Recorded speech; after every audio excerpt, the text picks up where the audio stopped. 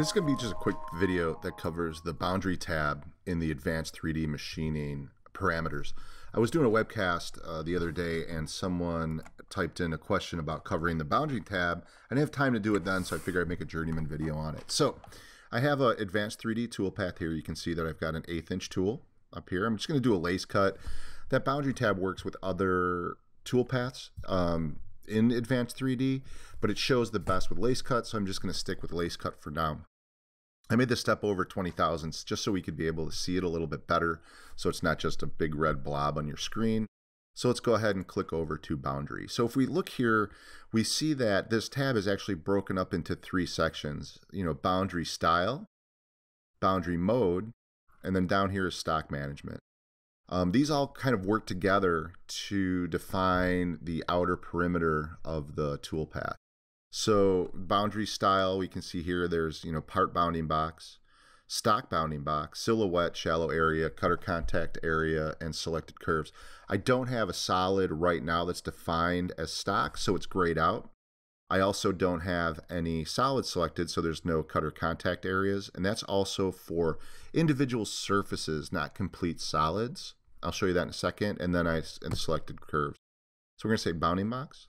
Down here for stock type, we have, you know, none, so it's not going to be bound by the stock type. The workpiece default, which generally speaking is, is usually the stock that's defined in your um, document dialog but it's the default X, Y, and Z for the workpiece default. And then part with offset, I did another journeyman video on that. You can research it. What it does, it actually just takes the, the solid and offsets it out to create a, uh, a stock. And then last but not least is solid. Again, I'm going to show you that in a second. All right, so boundary mode, on to or past. On will have the tool move into the boundary until the center of the tool is on that boundary. Two, the tool will go up to that boundary but not past it. Past, it will the tool will go to the boundary and then overshoot the boundary the diameter of the tool. Okay, and we'll see that here in a second. So let's just, this is the default what's up here right now. So let's go ahead and just click our solid and do it, and I'll show you what we get. There we go. So it's bound by the part bounding box. We can see that it's stopping here.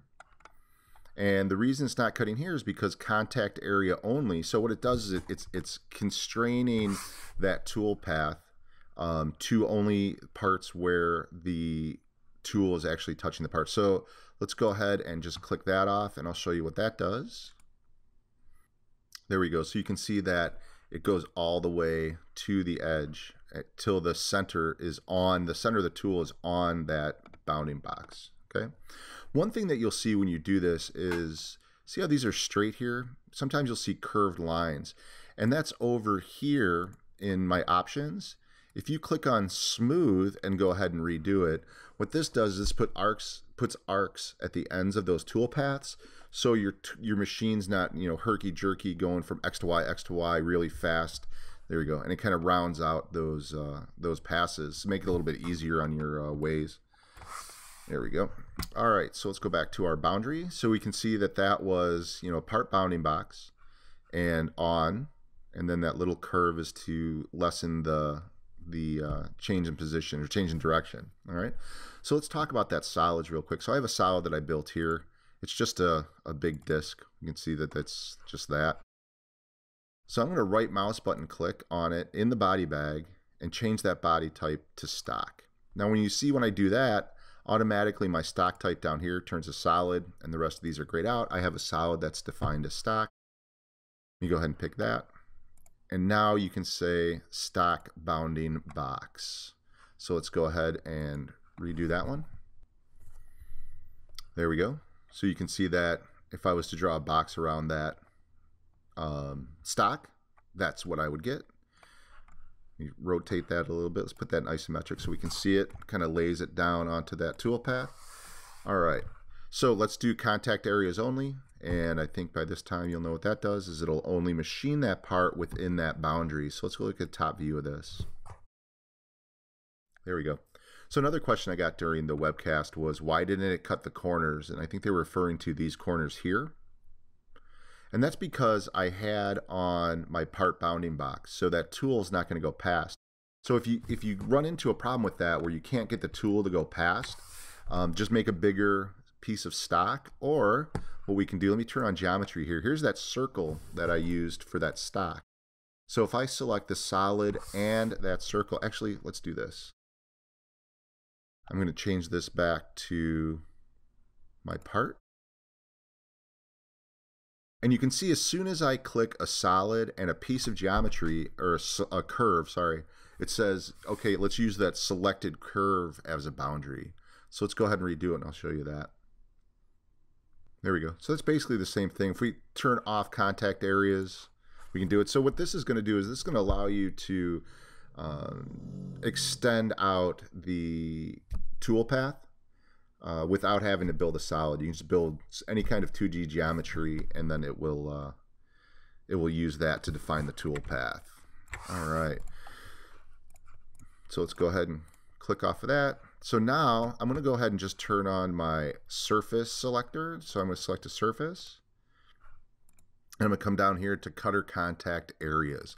What this is going to do is it's only going to machine the contact areas for a specific surface. There we go. So you can see that it actually binds the, the toolpath into that surface. There we go.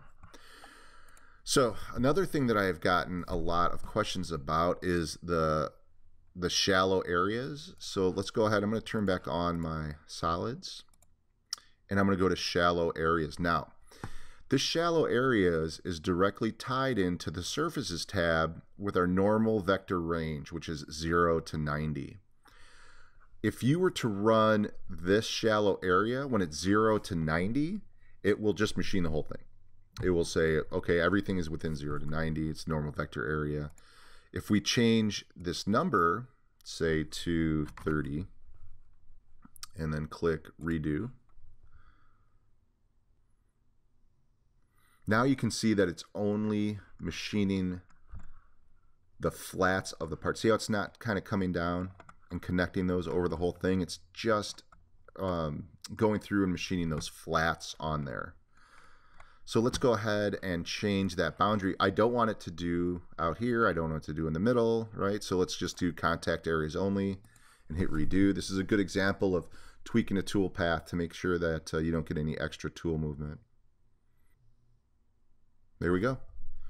So if you want to just machine um, surfaces that are horizontal or near horizontal, uh, that shallow area and then defining it again over here in the surfaces tab, your normal vector range. So one thing I wanted to cover was output calculated boundary. So let's go ahead and look at that and we'll actually use that calculated boundary with the steep shallow, or I'm sorry, the shallow area. So let's go ahead and say put out calculated boundary. Let's go ahead and click this and hit redo. There we go. So we can see it actually shows me the boundaries of those flats and um, vertical walls. So it actually puts out the boundaries for the output boundaries. So that pretty much covers the boundary tab in advanced 3D machining. If you have any questions about boundary tab or any other advanced 3D machining um, features, please feel free. Call your local GibbsCam reseller or GibbsCAM technical support.